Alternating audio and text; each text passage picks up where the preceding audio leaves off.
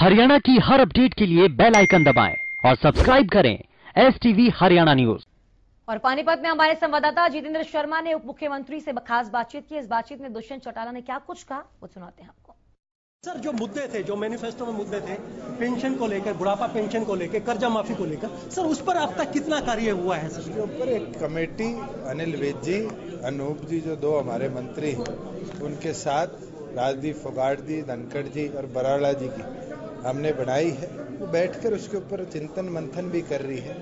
कई ऐसी चीज़ें हैं जिन पर ऑलरेडी कदम उठा लिए गए। कईयों पर फाइनेंशियल इम्प्लीकेशन स्टडी करने बहुत ज़रूरी है।